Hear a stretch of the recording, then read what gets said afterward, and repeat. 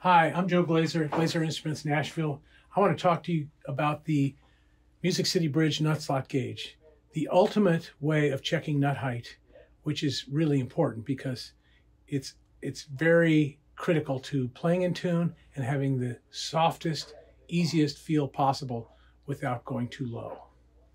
So what this does is it has four different settings, zero, zero thousandths, three thousandths, five thousandths, and eight thousandths.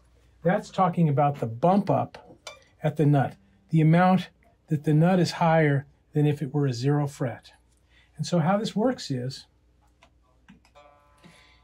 with strings or no strings, you can lay it on the fingerboard, put the end of it in the nut, and pull back. And if it clicks, it's coming off of the nut, and the nut's higher than zero thousandths.